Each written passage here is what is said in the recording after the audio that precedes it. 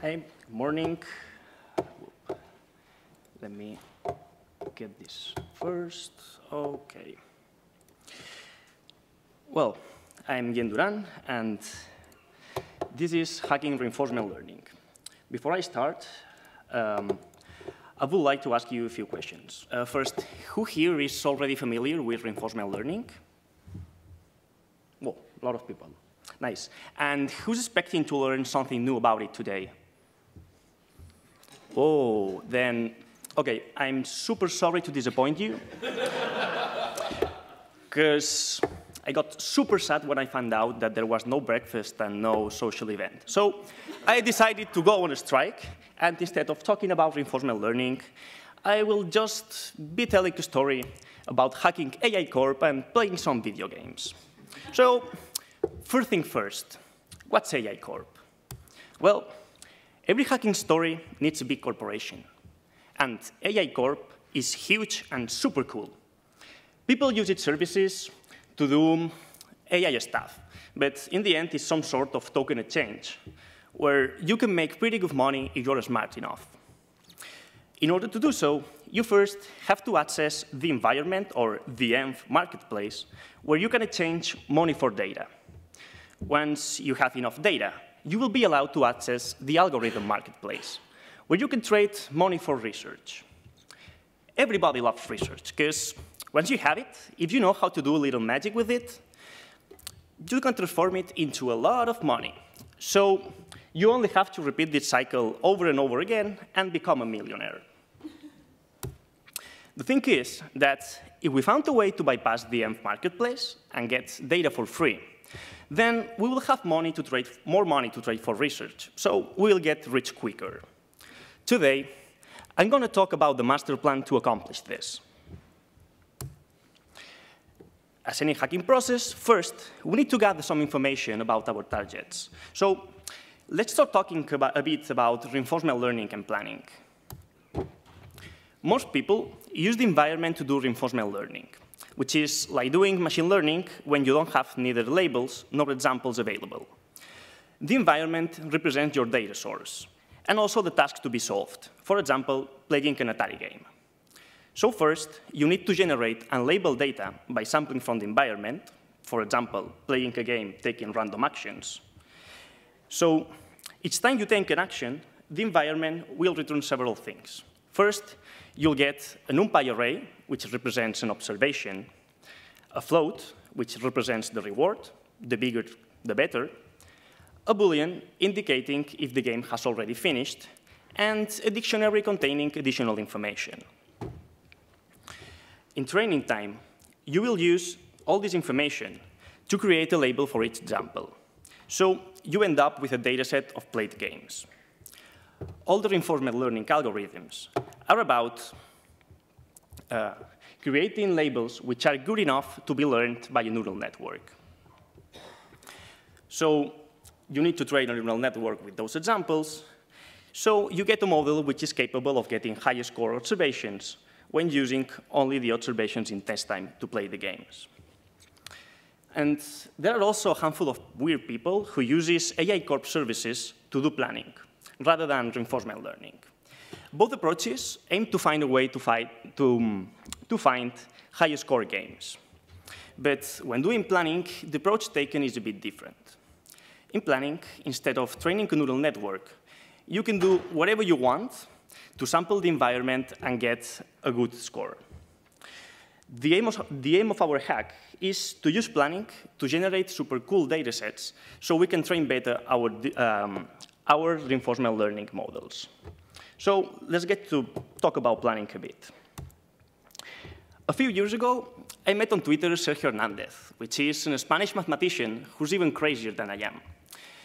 Together, we challenged ourselves to derive from first principles what we call fractal AI, which is our own theory on artificial intelligence that turns out that can also be used to solve planning problems.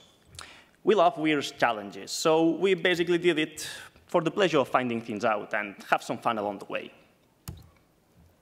At first, we got really curious about the paper that defined intelligence as a thermodynamic process, and this was done within the framework of non-equilibrium statistical mechanics. Back then, deep learning wasn't a thing on the field. So this guy, Alexander Wissner-Gross, worked out an equation for intelligence. This equation may look a bit intimidating at first, but it's actually easy to understand. It says that if you want to look intelligent in any situation, then your next action will be the one that leads to the higher number of good possible outcomes in the future. And what, has, what are those uh, possible outcomes? Well, you only have to count all the paths that exist up to an arbitrary point in the future and map them to a score. This means that if we know the future, this equation tells us how to choose the right action. Unfortunately, knowing about the future is not that easy. So the only thing we can do is sample a bunch of random walks and use them as if they were the, the full cone, which is like the space of all future possible actions. Let me show you an example. This is how, we, how a cone can be approximated. You can see that the path of the cone have two different colors. Blue for the path that started by moving uh, left, and right, and red for the path that started by moving right. The action chosen at each step will follow the color distribution of the cone. The cone, uh, if the cone is blue, the cards will turn left a lot. If it's red, they will turn right a lot. And if the colors are balanced, they will just keep going straight. This is because the environment here is continuous, but if it were discrete, we would choose the action which has the most popular color. How we sample the cone is important, because the bigger the cone, the better.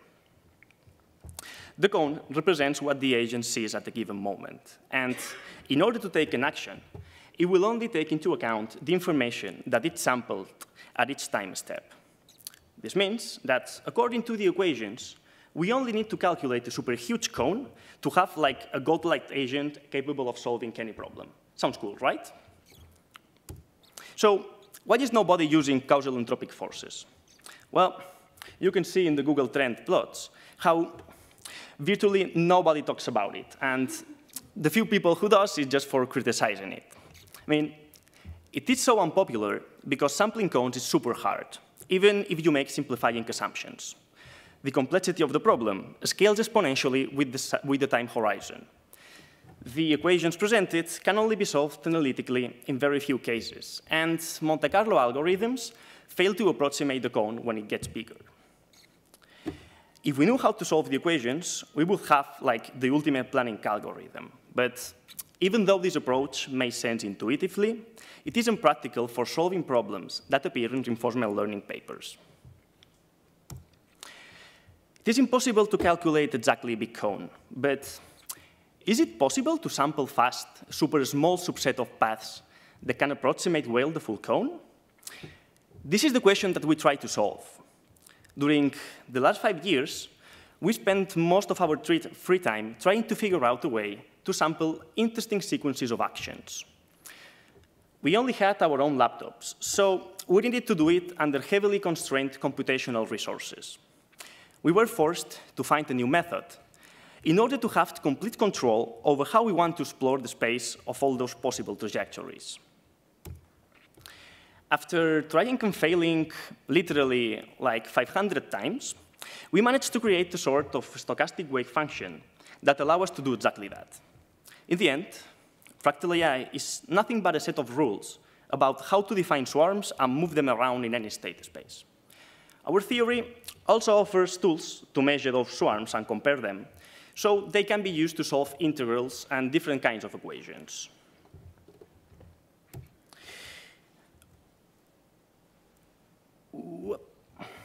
So now we already know a bit the background that we need it. It's time to find vulnerabilities and build exploits. If we want to properly hack reinforcement learning, we need to know uh, how this workflow is implemented. It turns out that all the modeling amounts to a bunch of TensorFlow code. And the, envi the environment follows the OpenAI Gym interface, which has become a de facto standard in the field. So we want to preserve this public API in order for our TensorFlow to not notice how we're hacking it.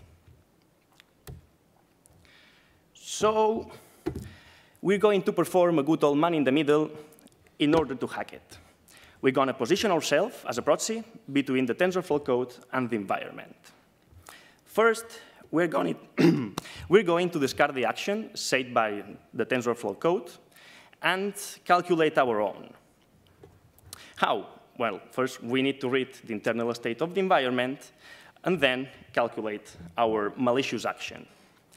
This action will be injected first inside the, the environment, so we get better games, and then we also will inject it inside the info dictionary, so the TensorFlow code notice what we are doing. In order to calculate those actions, we will use two different zero days, which we call fractal Monte Carlo and the swarm wave. They will allow us to inject actions that lead to superhuman performance games while maintaining the original flow of reinforcement learning intact. We will be using swarms because it's actually the fastest way we found on how to calculate expectations on how good will be the paths that follow a given action. A swarm will allow us to take advantage of both the information contained in the state space itself, this is the observations, and also in the reward function, let me show you an example of how a swarm works.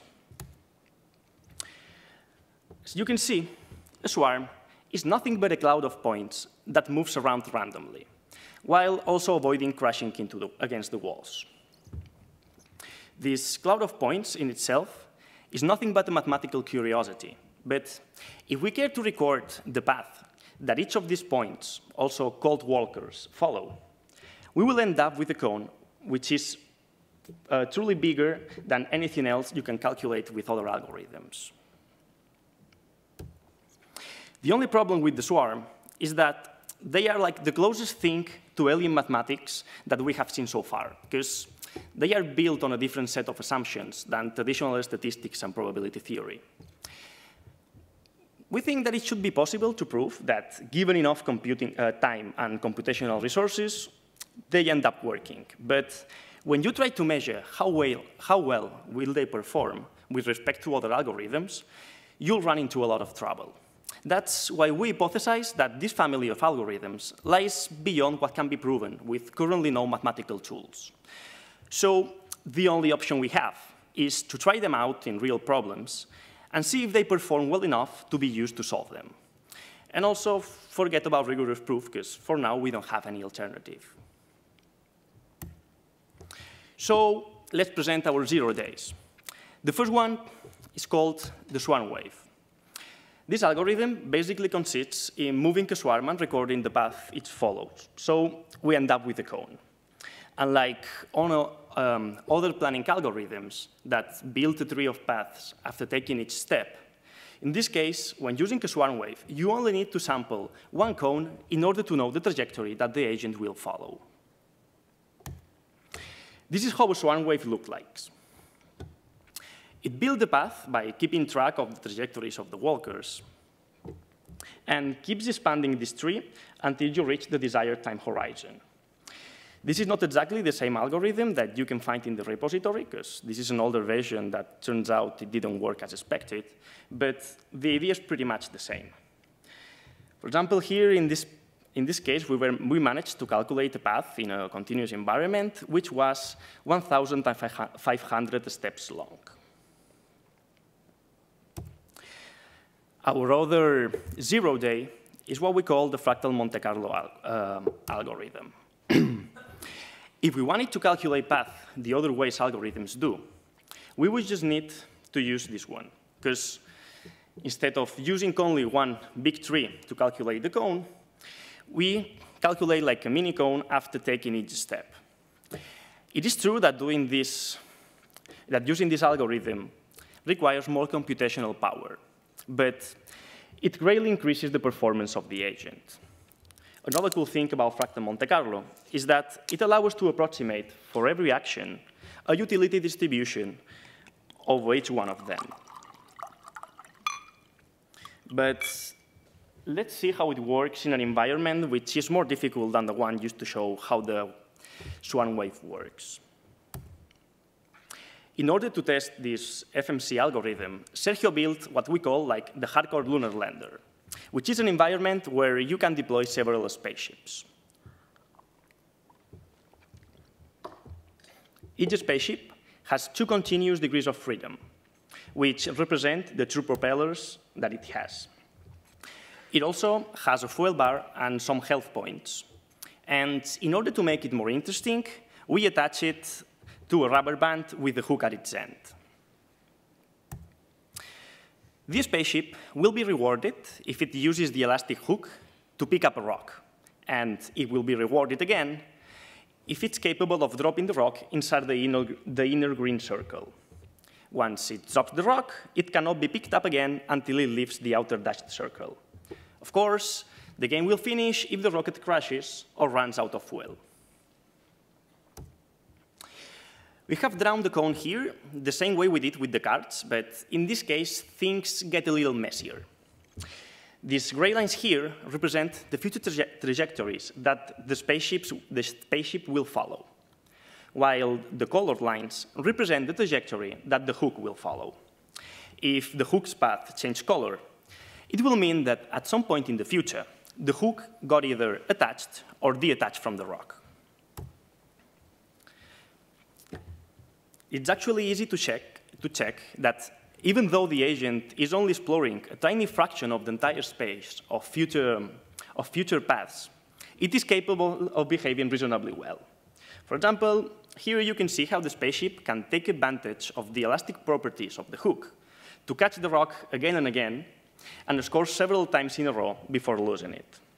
So it looks like our hypothesis of finding a small subset of useful paths still holds in these weird environments. So let's see how we can uh, let's see how we can take advantage of it to build our exploits. So now we have everything we know. So let's exploit some stuff because it's demo time.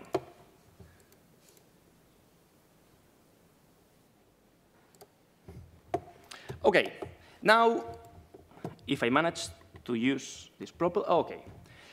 Now it's time to play Pac-Man. So while I speak, I will just leave a swarm wave solving a Pac-Man game. I hope. Yeah, it's working. Perfect.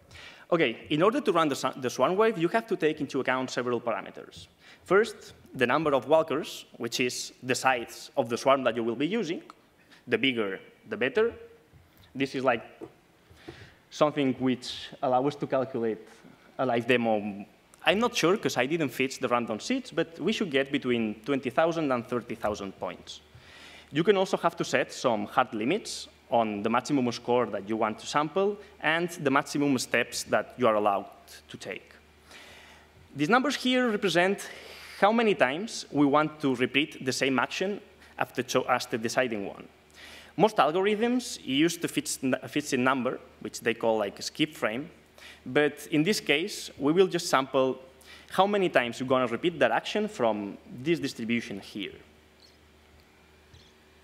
Then we only need to create an environment, create, uh, choose the kind of distribution that we will use as a prior, and run our swarm wave.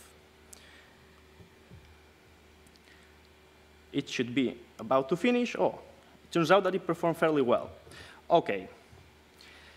It took 1 minute and 18 seconds, and it scored 36,000 points. Let's see how it played.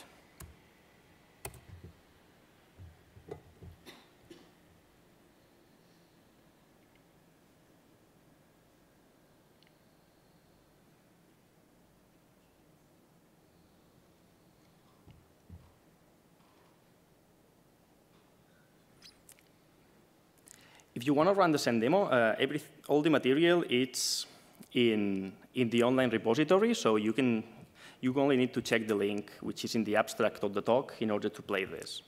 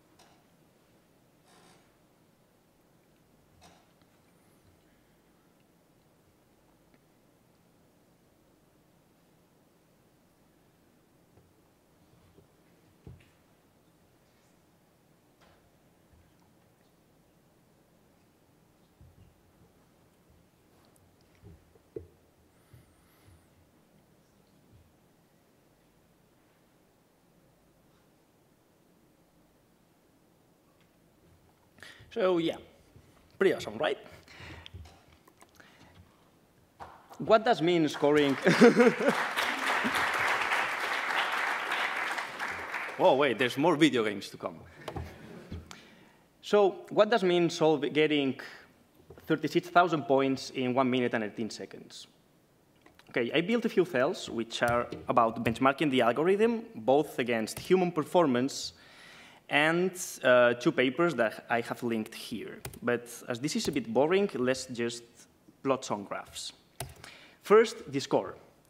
Here, we are comparing the score that the swarm wave achieved against different algorithms from other papers. For example, here you have the human performance, which was like 40% of what we achieved, UCT, which is the one that AlphaZero uses, or also we are benchmarking it and this one, which is the state of the art, and these two are algorithms which run in a cluster in Amazon.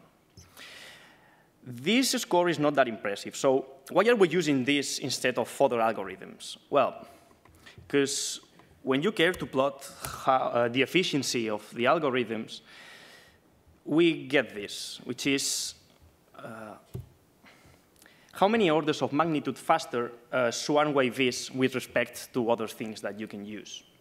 For example, you can see that it plays about five times faster than a human.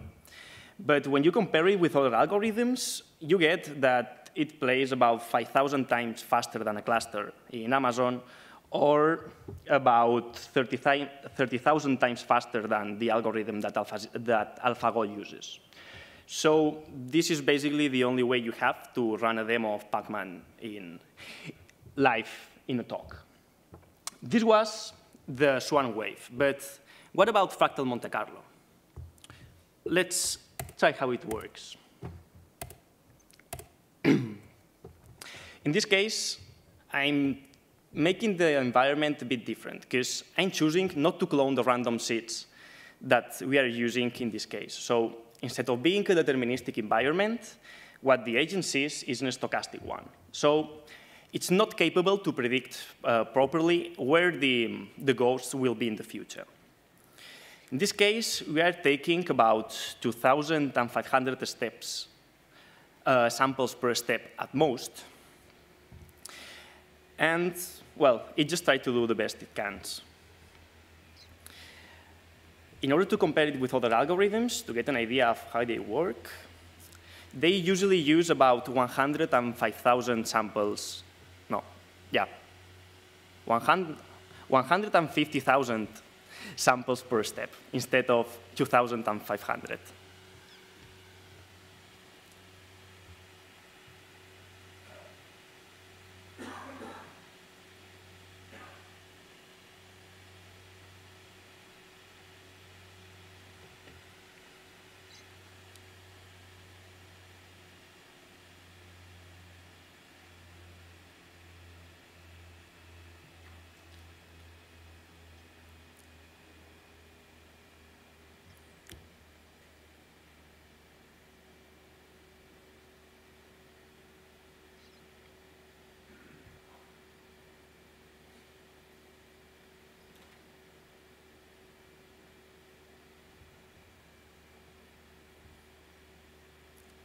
OK, so this time it didn't manage to finish the first level. You can expect, if you tried it with these parameters, to sometimes get up to about 10,000 points. But given that the task is so difficult, we would need uh, much more computational power to run it in real time.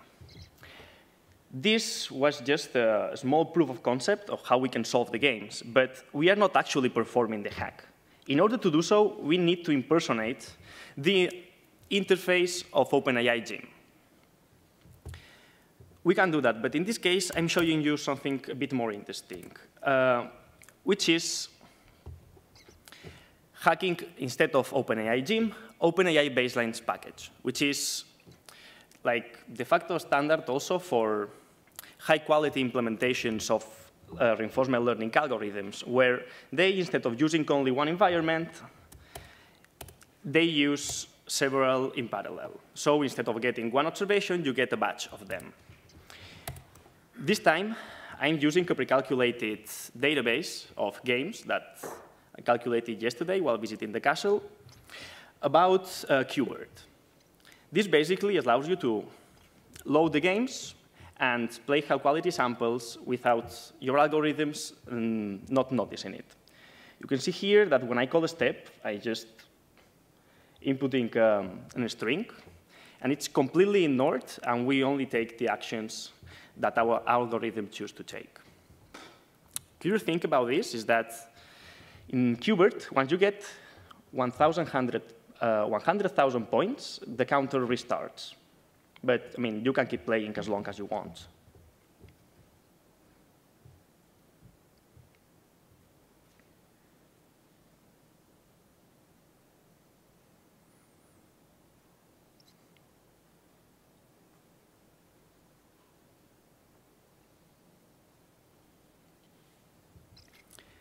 When using this kind of environment, uh, you need to choose how long you want the chunks of the games calculated to be. In this case, we are either playing until you lose one life, or, uh, see, it just restarted the counter. either until you, place, you lose one life, or you get 35,000 points. Another curious, mm, weird thing about Qbert that I don't really understand is that sometimes when you fall off the cliff, you don't lose a life.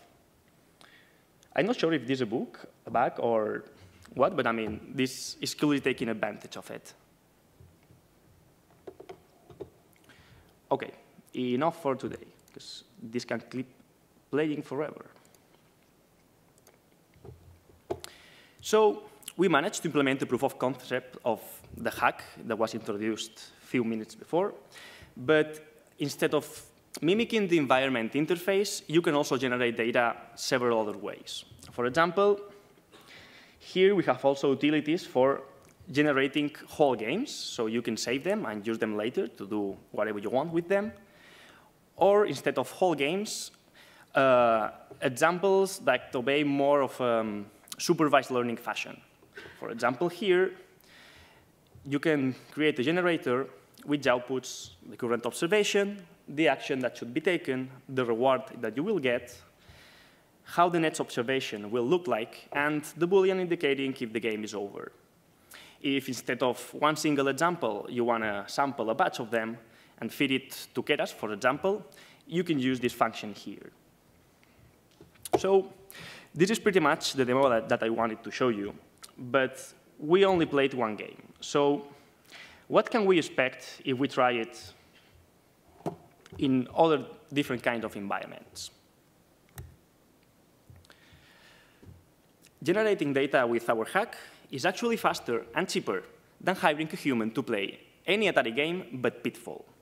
And using a wave, you can even beat the human record in 32 out of 50 games, which are the ones that are always tried in planning papers. These two games here, boxing and ice hockey, uh, you get a reward of plus one if you manage to score a goal in hockey, or you manage to hit your opponent in boxing. If it's the other way around, you will get a minus one reward. This means that even though the rewards are relatively sparse, these kind of environments can easily be solved.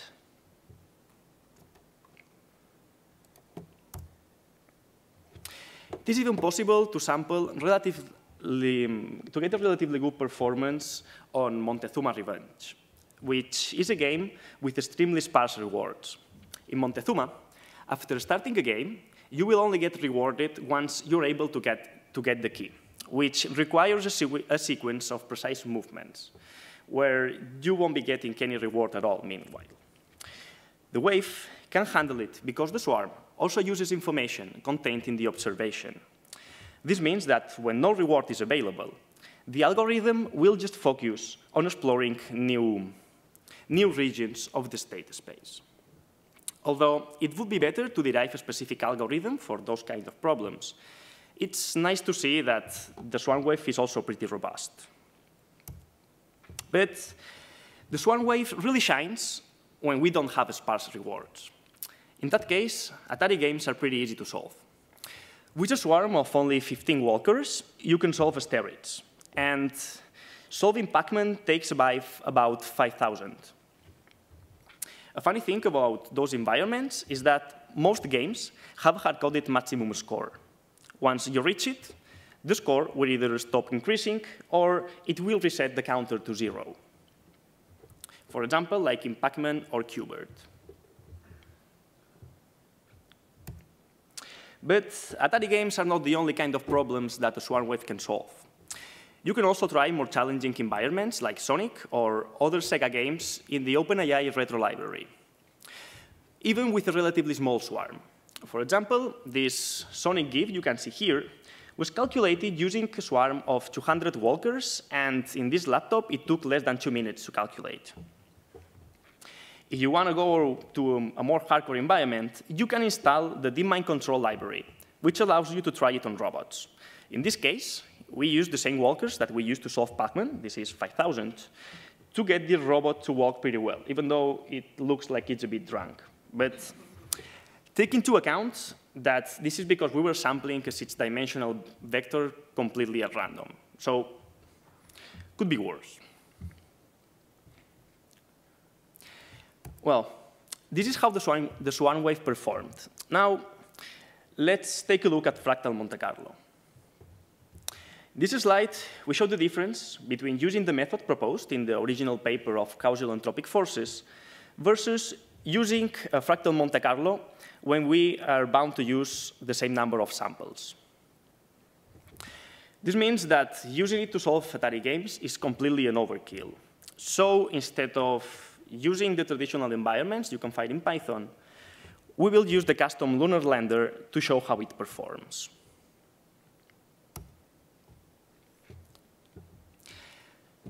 Well, it turns out that this hardcore lunar lander is an environment which is very difficult to solve for humans. Flying the rocket alone is a very difficult task on its own, but when you attach the hook and the rubber band, it becomes nearly impossible to control.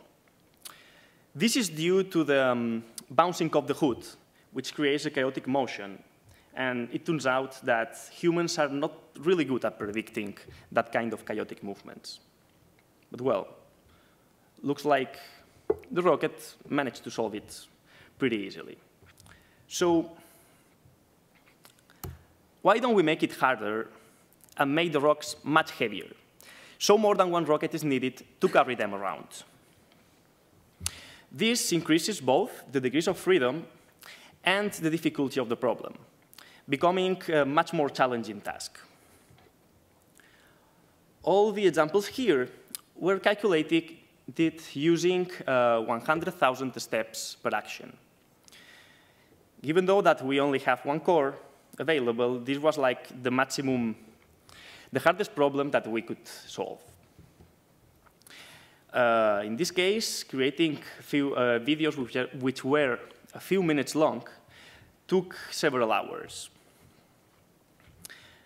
But we also tried increasing the number of agents in tasks where, where, which were easier to sample to see how this algorithm scales with the degrees of freedom of the agents.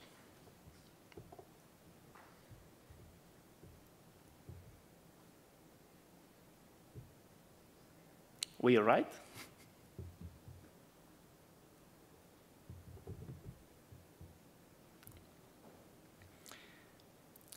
Besides moving rocks around, for example, you can make several agents collect food, which is represented by these green bubbles, and drop it in boxes, which are distributed across the environment. In this case, the agents are greedy. Uh, this means that they, are just, they just care about collecting food and not crashing against each other. But we can take this kind of tasks one step further and force the agents to maintain information while gathering food.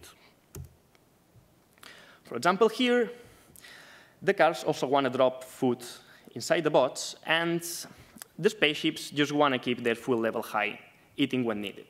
But if you also tell them that they like to be close to each other, you end up getting this kind of weird elastic motions.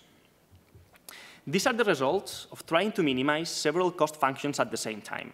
And depending on how you define the personality of the agent, which is how the weights of different objectives are balanced, you can influence how rigid the formation will be and how often an agent will break it to gather food.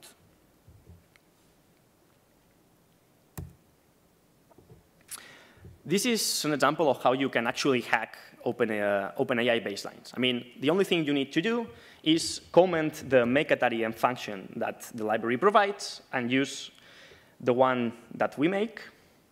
And when sampling the environment, just ignore the actions that you sampled and recover them from inside the info dictionary.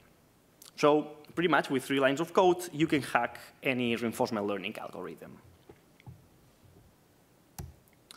So we finally managed to hack the environment and get data for free. And actually only using the code presented, in the talk, approaching any, any inverse reinforcement learning problem should be feasible. This means that we can approach reinforcement learning as a supervised task without any human intervention at all. Something like generating a dataset of 1 million games of Pac-Man is far way cheaper than training an agent to play Dota or even StarCraft 2. So once you have that dataset, you can just overfit a deep network and see how it performs. I mean, I bet that you can get pretty good performance if you do that. If you're bored enough, you could even train a model use that trained model as a prior for generating another million games, which would have even higher scores, because you already learned before, and repeat the cycle until you get the performance that you want. But that's the topic for another story. For now, let's just have some fun trying out the new hacking techniques presented, because this is how it finishes the first volume of my tales about hacking reinforcement learning. Uh, before moving to the Q&A, I'll talk a bit about myself. I am Guillem Duran Ballester, and I'm a PyData Mallorca co-organizer. I studied telecommunications engineering a few years ago, and I learned to code in Python so I could hack some AI research as a hobby. But I must confess that my dream is becoming a proper scientist and make a living out of my passion. So if you happen to know some real AI researchers, please tell them that I would be super happy to work with them. So yeah, this is it.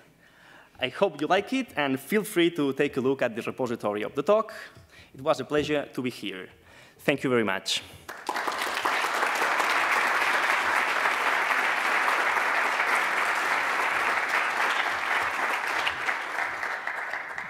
Thank you. Uh, we have five minutes for questions. If you have a question, can you queue on this side of the room, please?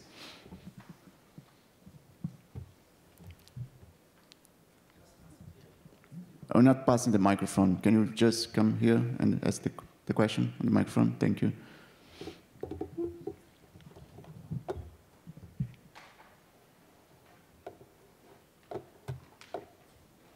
Okay, so, so what is the reward you use for the Pac-Man game? What is the? Reward, like what kind of reward? How do you? The reward, I think, it's the score that you can see in the screen. So only the score.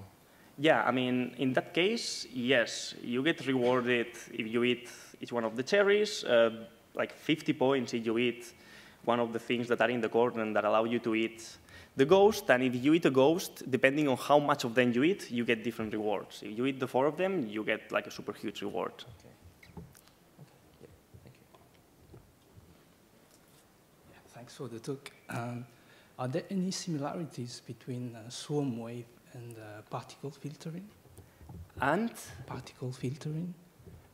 I'm not sure. Particle filtering is some kind of some kind of swarm particle optimization. Yeah, it's like uh, more like a sequential uh, Monte Carlo. Yeah, I mean, the idea is pretty much the same. It's like trying to sample a distribution uh, which matches the true distribution of your state space. I mean, let me show you here.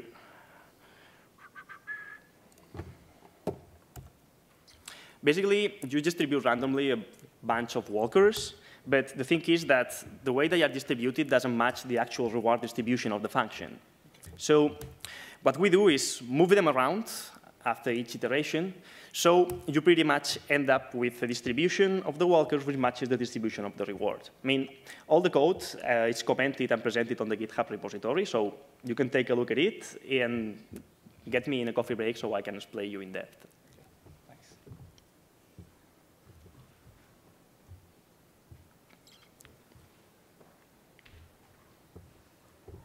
Nice talk, thanks. Thank you. Um, D- The, the benchmarks you did against uh, deep learning uh, TensorFlow, were, did you run with GPU or what? No, I mean, actually, I didn't do a proper benchmark because uh, it is required to use a 1,500 steps per sample, and it's like super expensive.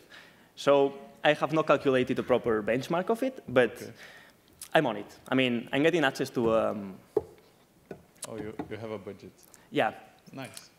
But I mean, you want to see how it works. Uh, I have benchmarked it uh, against two papers, but in the repository is also an Excel spreadsheet where you can find the performance of all the algorithms that exist compared to what we are getting.